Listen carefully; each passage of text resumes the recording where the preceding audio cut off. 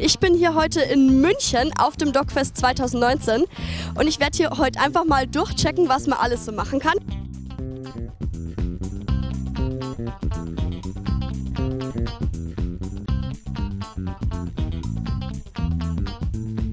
So, ich bin jetzt heute hier mit Pablo, dem Social Media Manager des DocFestes. Ist richtig so, Pablo? Genau. Und ihr Social Media Menschen, ihr seid ja eigentlich von rund um die Uhr eingespannt. Leben haben und Docfest organisieren, kann man das irgendwie verbinden? Ähm, ja, klar. Also natürlich ist bei einem Festival, glaube ich, bei Social Media wie bei den meisten anderen ähm, Jobs, die das Festival so hat, ähm, schon, das ist eine totale Ausnahmezeit. Freundesfreund hat mal gesagt, halte ich fest, Dokus sind langweilig, gucke ich nicht. Was würdest du ihm antworten?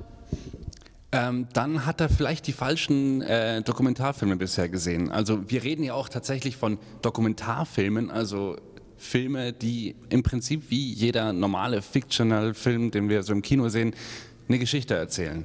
Und ähm, ich kann deinem Kumpel dann gerne mal was empfehlen. Also das äh, sind tatsächlich Filme, die einen manchmal sogar noch viel mehr bewegen können als äh, fiktionale Filme, weil das Geschichten sind, die das Leben schreibt. Also sage ich vielen Dank, Pablo, dass du dir kurz Zeit genommen hast. Ne?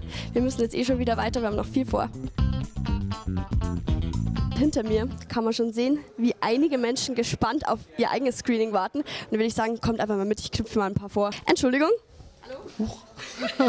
Habe ich Sie erschrocken? Ja, no. Entschuldigung, hallo? Sind Sie Besucher vom Dogfest? Ja, Welchen Film gucken Sie sich denn heute an? äh, mehrere. Also zum Beispiel über den Vlatko Mladic schauen wir zum Beispiel nachher den Film an. Ne? Und heute Abend einen über Tansania. Hier ist halt sehr interessant. Äh, Afrika ist ja ein Land, das Ja, das ist richtig. Sind Sie Besucher vom Dogfest? Ja, Finden Sie Dokumentarfilme im Allgemeinen kommen sonst irgendwie zu kurz? Also wenn man... ja, unbedingt.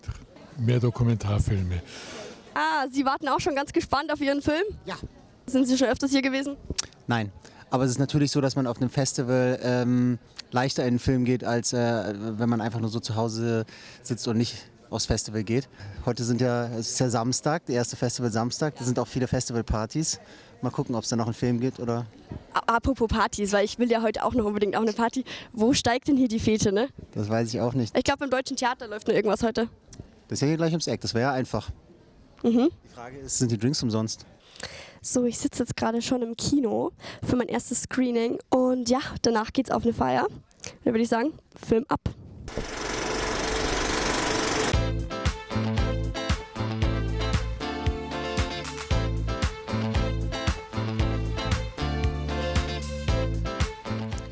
Willkommen im Silbersaal. Was für ein schöner Saal hier, oder?